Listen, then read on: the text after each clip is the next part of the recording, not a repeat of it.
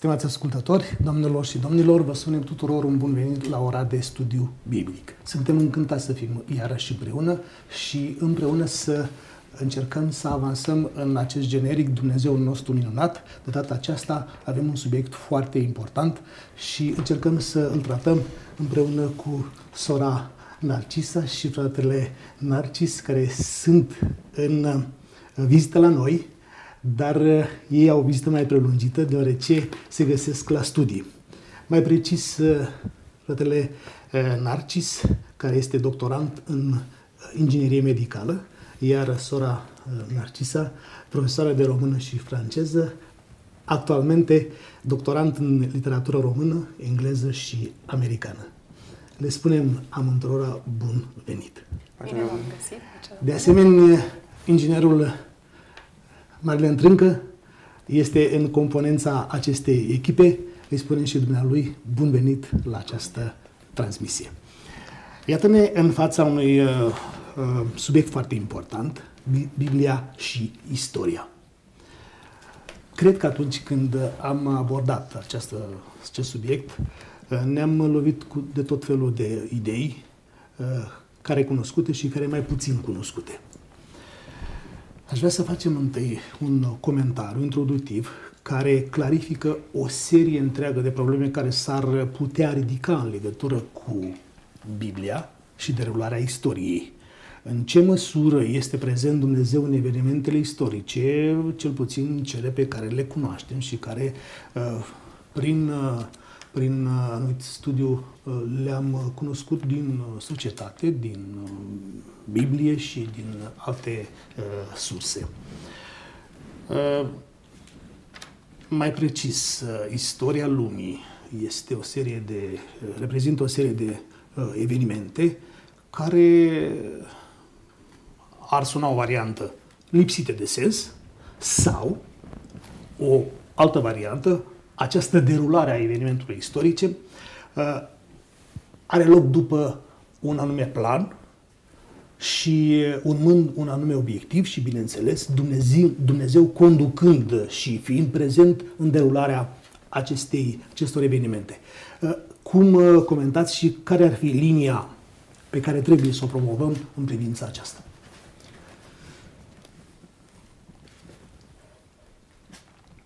Acum, totdeauna de-a lungul istoriei au existat o alternanță a acestor două păreri pe care dumneavoastră deja le-ați spus. Uh, esențial este că dacă vom lua Biblia și o vom studia, vom vedea că de la un capăt la altul aceasta declară că Dumnezeu conduce istoria.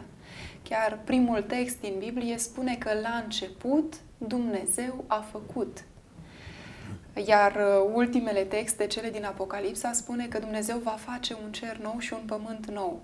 Așadar, există un sens bine definit al uh, istoriei acestui pământ.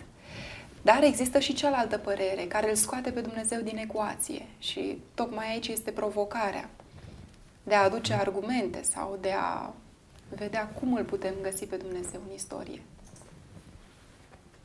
Da, de asemenea, în comentariul introductiv apare această idee și aș vrea să o citesc doar. Totuși, nu toată istoria reflectă voința lui Dumnezeu. Dacă nu reflectă voința lui Dumnezeu, înseamnă că Dumnezeu lipsește din segmentul acela din, de istorie, cumva?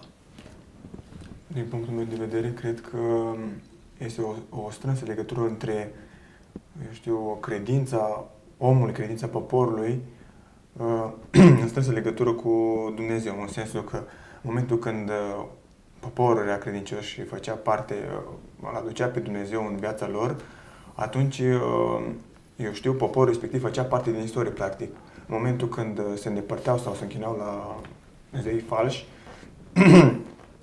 nu mai făcea parte din istorie. Practic, istoria se termina pentru ei. Mm-hmm. Pentru că Domnul a, a rânduit o anumită un anumit curs istoriei.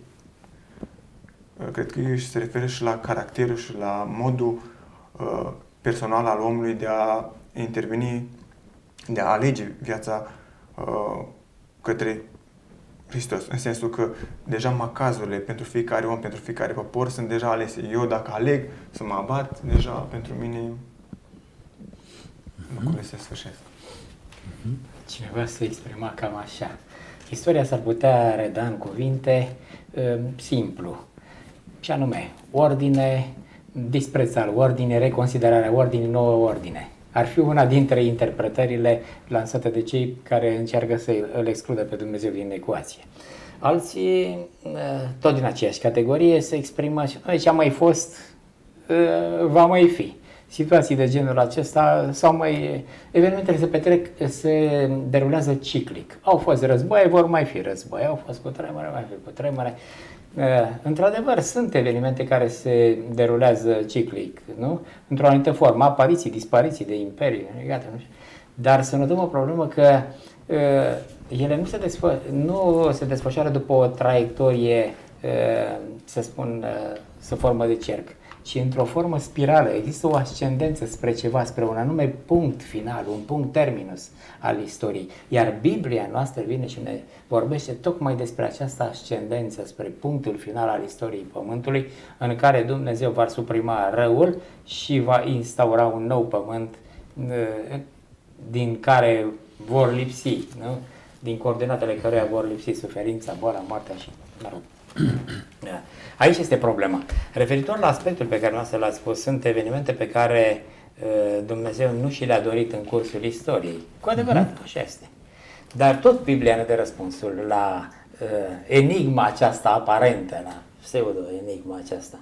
Eh, cum se întâmplă ca Dumnezeu, se ridică întrebarea, cum se întâmplă ca Dumnezeu să controleze totul și totuși Dumnezeu să se confrunte cu evenimente pe care El nu și le dorește? Exact lucrul acesta am vrea să le explicăm pentru edificarea unora care Cu pun sub da. semnul întrebării cumva prezența lui Dumnezeu în anumite perioade istorice care au avut un efect negativ, uh, cel puțin asupra societății, asupra omenirii, ca să nu mai vorbesc Dar la o scară mai largă. o problemă. Există în Biblie Uh, niște rezolvări ale acestei probleme.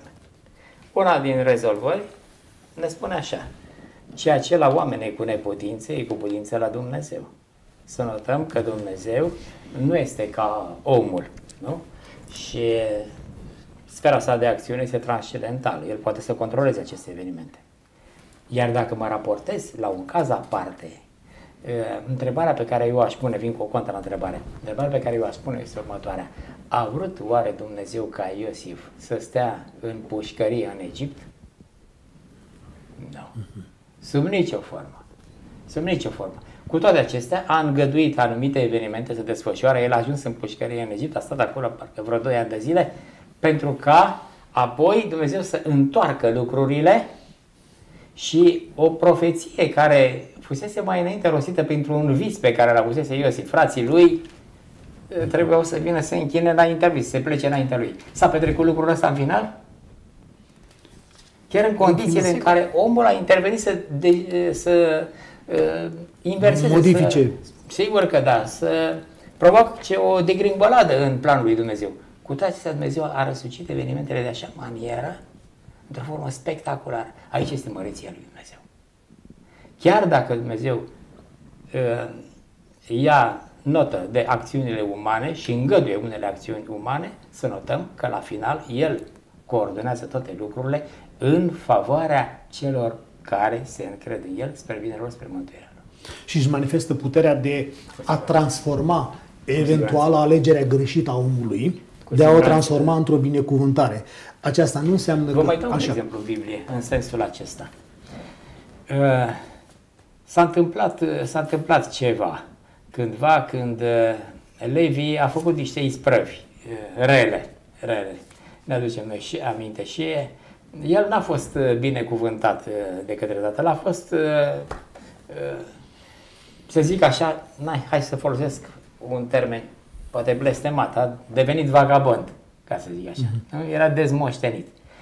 În momentul când Moise era pe munte și când s-a produs apostazia aceea cu vițelul de aur, dacă ne uităm pe paginile Sfinte Scripturi, tot poporul s-a închinat la vițelul de aur, numai Levi n-a vrut. Sigur. și în momentul acela intervine Dumnezeu și spune așa, stați un moment, iau vagabonzi în momentul de față și îi vor mânca crema țării. I-a făcut leviți?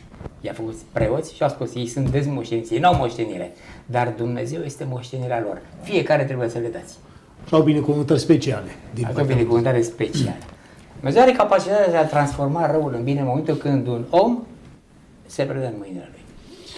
Uh, înainte de a intra în, uh, în uh, cuprinsul studiului nostru, vă rog să răspundeți la două întrebări. Care parte a istoriei este determinată de Dumnezeu și care nu? Sau există părți din istorie care sunt determinate direct de Dumnezeu? Dacă îmi permiteți vă să vă prezint uh, lucrurile din perspectiva unui istoric al religiilor, și anume Mircea Eliade. Chiar acesta își pune întrebarea cum se poate să explicăm oamenilor toate catastrofele care au fost, toate războaiele care au fost, apoi primul război mondial și al doilea război mondial și toate atrocitățile care s-au întâmplat și care au dovedit răutatea din inima omului, cum se poate să explicăm în momentul acesta existența lui Dumnezeu? Și răspunsul la această întrebare îl oferă Biblia. Dumnezeu dă omului capacitatea de liberă alegere. Dumnezeu nu poate să intervină și să forțeze omul, îi lasă totdeauna această libertate. De asemenea, nu poate să-l forțeze pe om să-l iubească, pentru că altfel nu ar mai fi dragoste. Și atunci, în momentul în care noi oamenii alegem să ne depărtăm de planul lui Dumnezeu, ne facem un plan al nostru, secundar acolo, dar este posibil, așa cum a spus Narcis uh, anterior, este posibil ca macazul să nu fie cel corect și să deraiem. Dar Dumnezeu, cum ați amintit deja, are posibilitatea aceasta de a întoarce lucrurile, așa cum ne spune și textul din Romani 8 cu 28. Toate lucrurile lucrează împreună și cele bune și cele rele, spre binele celor ce iubesc pe Dumnezeu. Și ca o completare, cred că nelugirile voastre pun un zid de despărțire între mine și voi. Cred că poate fi un răspuns la, eu știu, ce s-a întâmplat uh, vis-a-vis de, eu știu, lucrurile mai urâte din istoria omenirii. Uh-huh. Uneori ne-am rezumat la explicarea acestui, uh, acestei referințe scripturistice, care ai amintit-o, doar la uh, fazele noastre de trăiri spirituale și în momentul în care personal sau la nivel de individ ne-a mers bine, uh, zicem că a fost prezent Dumnezeu. Când ne-a mers mai rău, aplicăm acest cumva, aplicăm text. Dar aplicat acest text sau această referință biblică la, la scară globală, atunci intră în, în acțiune factorul acesta determinant de alegere a omului. Și să observăm noi că, de fapt, uh, uh, părțile întunecate ale istoriei uh, fac parte dintr-un, dintr-o dintr marea luptă între Hristos și Satan.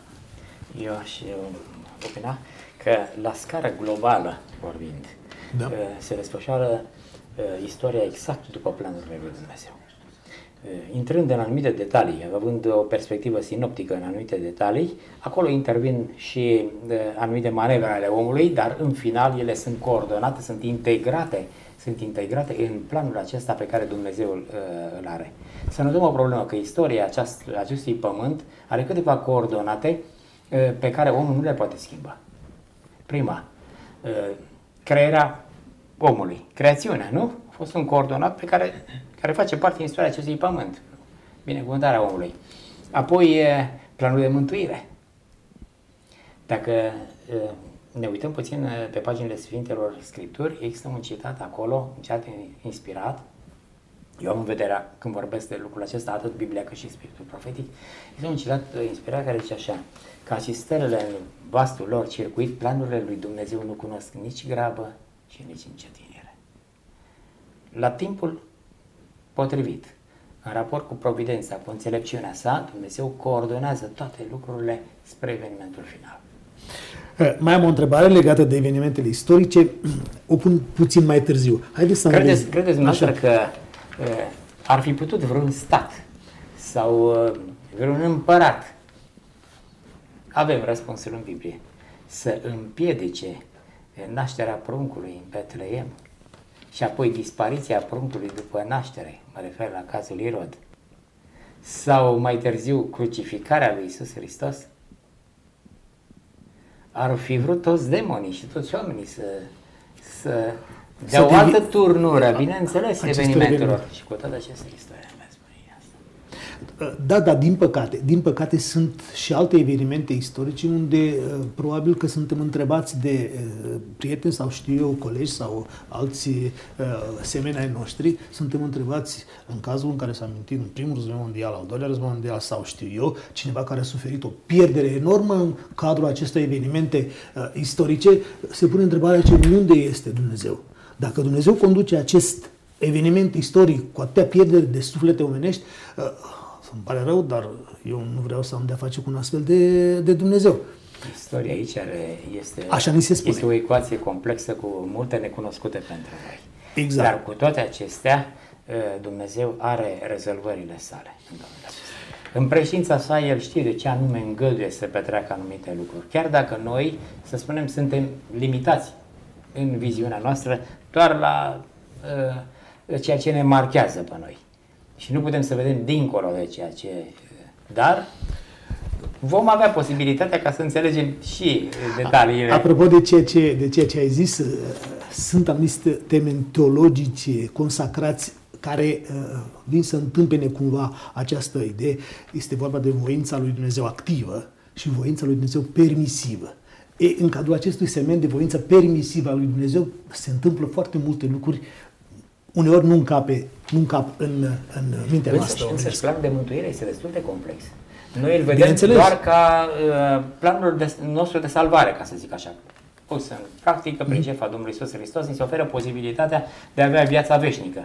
Dar să notăm că în uh, uh, jertfa Domnului Iisus Hristos se include și apărarea numelui lui Dumnezeu în univers, dreptatea lui Dumnezeu, iubirea sa, uh, urmează apoi uh, restabilirea armoniei universale, conceptul despre Dumnezeu în mintea, să zic așa, mă folosesc într-un termen uman, a ființelor necăzute Da. și care Chiar au și pentru asistat. ele. Dar bineînțeles, sunt multe lucruri care trebuie să rânduite în univers. În condițiile acestea era probabil necesar, e poate necesar ca uh, cei care privesc, uh, să zic așa, teatrul pământ, să poată să vadă și ceea ce este în stare satana să facă dacă îi se permite. Mm-hmm. Pentru ca nimeni să nu mai dorească așa ceva. Uh, haideți să intrăm așa rând pe rând, uh, succint în, uh, în uh, subîmpărțirile studiului nostru și anume uh, noțiunea de trecut și uh, viitor. Și apare în, uh, în comentariul introductiv cu privire la acest, uh, această subîmpărțire o idee care să o clarificăm puțin. Uh, unii susțin că viața uh, omului are un caracter ciclic și alții, uh, adevărul este că viața omului este în mod liniar. Ma, care sunt argumentele pro și contra aceste, în, în favoarea acestui eh, adevăr că viața omului este liniară și nu ciclică? Cum comentăm această afirmație? Uh, Iarăși vin cu o concepție, o teorie din partea aceluiași istoric de care povesteam, din partea lui Mircea Eliade, care face o deosebire între timpul istoric și timpul circular, care se repetă. Acum există o problemă în ceea ce privește această repetiție. Este în sensul pozitiv sau în sensul negativ? Pentru că filozofia secolului 20, Nietzsche, mă refer la acest filozof, propune un mit al eternei reîntoarceri în sensul de rotire în gol, de derivă. Ei, Eliade vorbește despre un alt fel de timp ciclic. Uh, Ceea ce m-a impresionat la acest uh, scriitor și istoric al religiilor este faptul că, dincolo de evenimentele istoriei, el vede o voință transistorică și chiar aceasta este uh, expresia lui, transistoria. Există un plan în spatele tuturor evenimentelor pe care noi le parcurgem. Omul este linear, aceasta este perspectiva lui. Dacă are un obstacol în cale, nu vede mai departe. Dumnezeu are perspectiva de ansamblu și atunci El știe ce este după obstacolul respectiv, chiar dacă mie mi se pare că acolo mi s-a terminat uh, istoria mea. Vedeți, în, în contextul A- celor s-a spuse... adus în, în discuție cea de-a treia posibilitate. Așa. Este vorba evoluția într-o spirală ascendentă, o spirală logaritmică în stația, deci nu... În, E o anumită traiectorie liniară, apare liniară, dar și cu toate acestea... Interesantă, interesantă asta. asta, asta în contextul asta. celor explicate apare, Da. apare această idee de uh, revelația lui Dumnezeu. Da. Uh, luând, uh, ținând cont de cele, ce- de cele spuse, uh, acum considerăm reve- revelația lui Dumnezeu uh, parcă altfel decât poate am cunoscut-o până acum. Ori revelația este capacitatea lui Dumnezeu de a cunoaște cumva uh, ce este și mâine sau dincolo de obstacolul acesta, dar, uh, așa cum textul memorizat amintește foarte bine, uh, descoperitorul Iisus Hristos este cel ce era, cel ce este și cel ce va fi și perspectiva lui este de, de ansamblu. Pentru el nu este nimic ascuns. nu Așa? Acum, pentru, din perspectivă umană, întrebarea este, e necesar, e ușor, e greu, e în detrimentul nostru să știm adevărul, să- pardon, să știm viitorul? Care este constanta care rămâne în explorarea, cumva, în cunoaștere cel puțin, a viitorului? Parțialitate.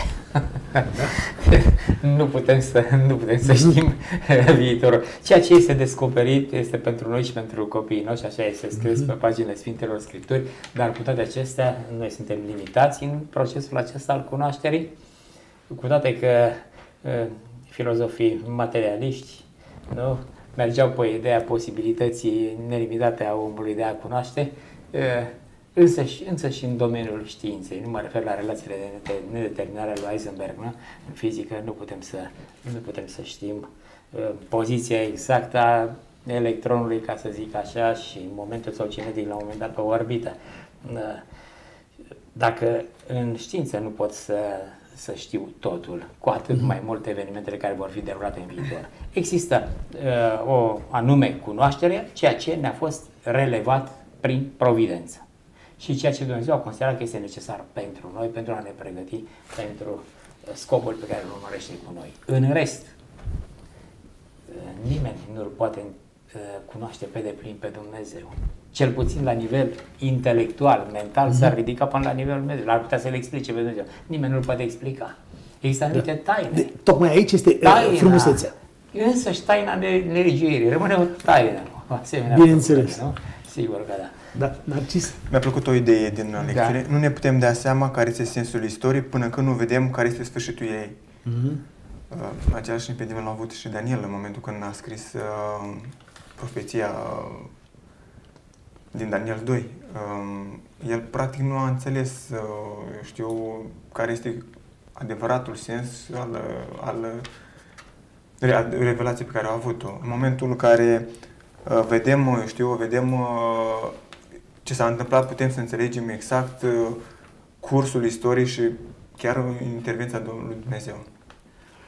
Uh, Vedeți, uh, nenumărați, dacă nu chiar toți profeții uh, îi privim ca istorici, dar ei s-au, s-au uh, folosit de această expresie deosebită. Domnul mi-a zis, Domnul mi-a vorbit.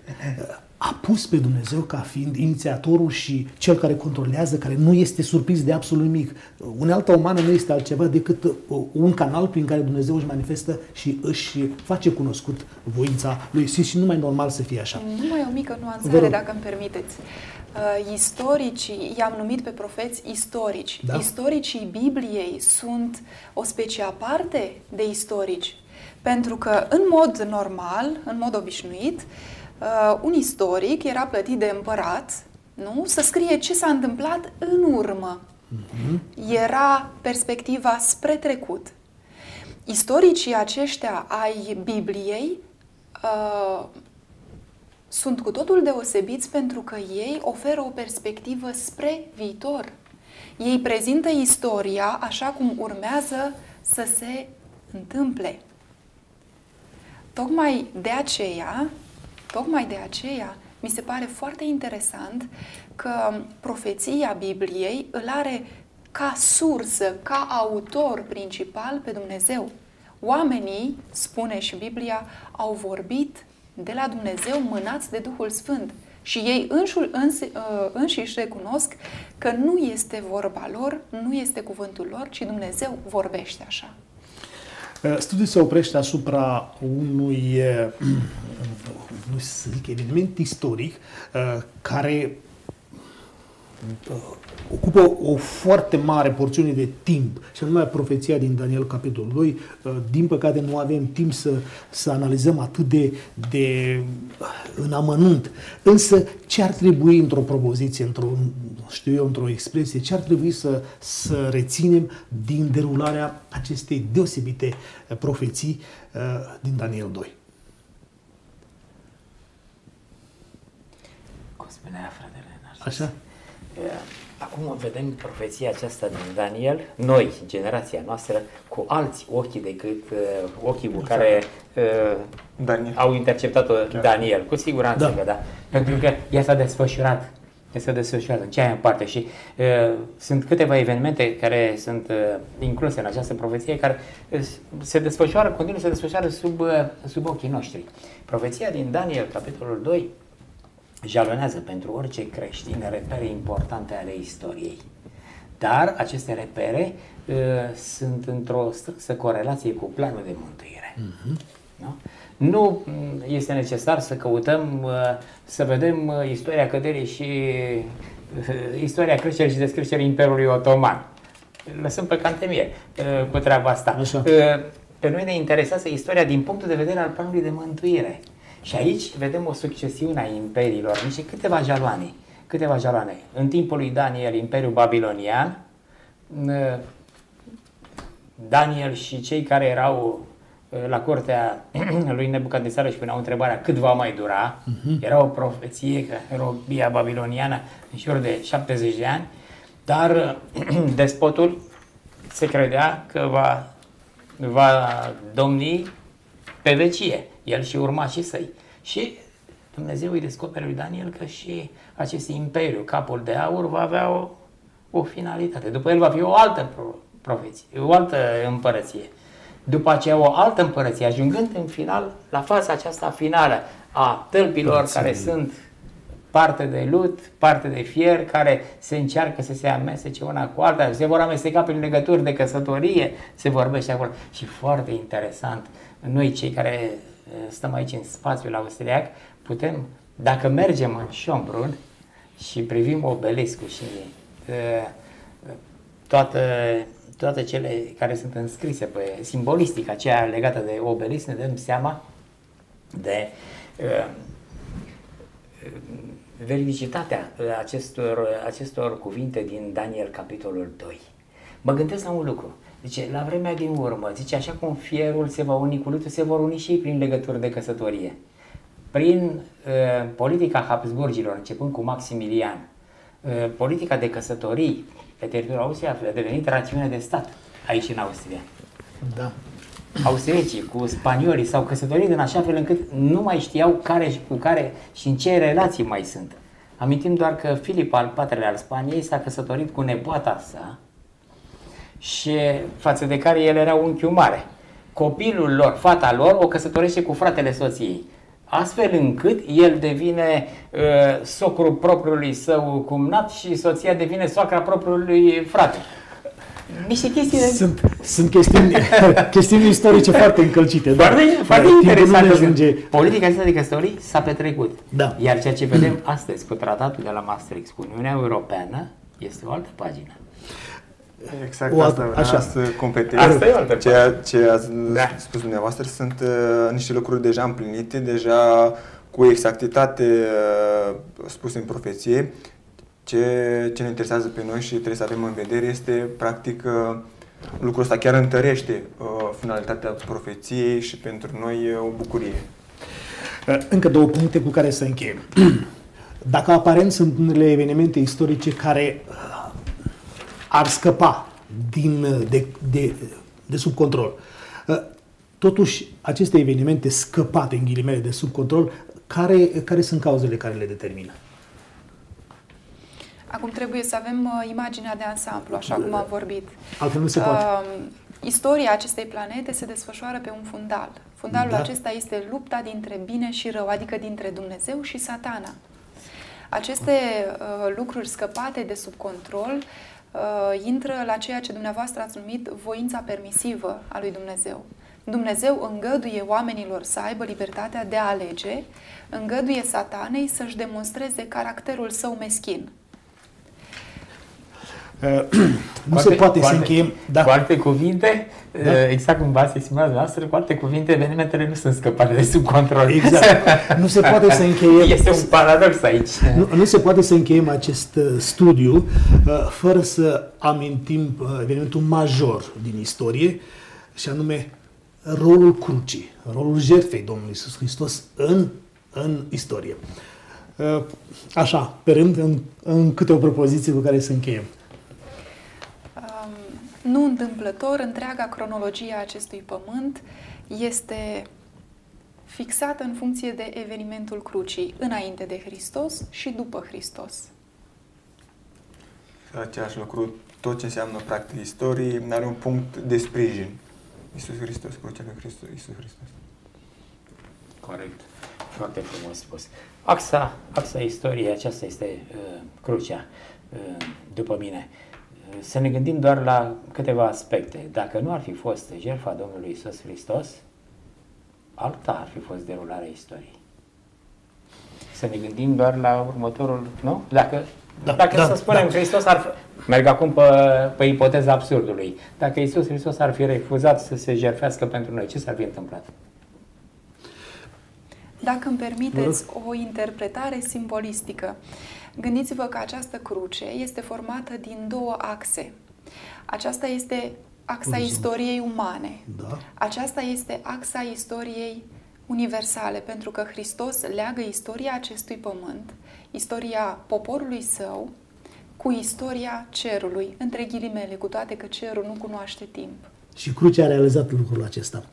E, de fapt, uh, cea de-a doua uh, întrebare și nu neapărat o întrebare, idee pe care vreau să o pun, evenimentele istorice aparent lipsite de sens sau care au apărut uh, la întâmplare, totul se derulează după planul divin, chiar dacă în ochii noștri e ceva care uh, nu le place, ne-a făcut, ne-a produs mare durere sau știu eu, uh, nu încape în gândirea noastră umană. Prieteni, vă mulțumesc pentru prezență și pentru străduința fiecăruia de a uh, completa și a alcătui portretul cumva al acestui studiu și anume Biblia și istoria tuturor celor care ne-ați urmărit. De asemenea, vă mulțumim pentru atenția care, ne-ați, care ați acordat acestui timp de studiu. Vă reînnoim invitația să fiți împreună cu noi la fiecare studiu care se desfășoară în cadrul școlii de savat. Până la următoarea întâlnire, vă spunem tuturor la revedere!